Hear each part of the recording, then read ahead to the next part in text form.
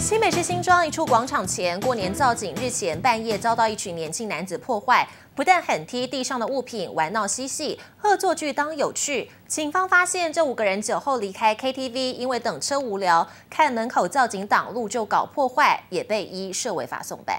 闲啊你们！人家放那商场前广场物品散落乱七八糟，一群男子大半夜玩闹嬉戏，警力火速到场关切。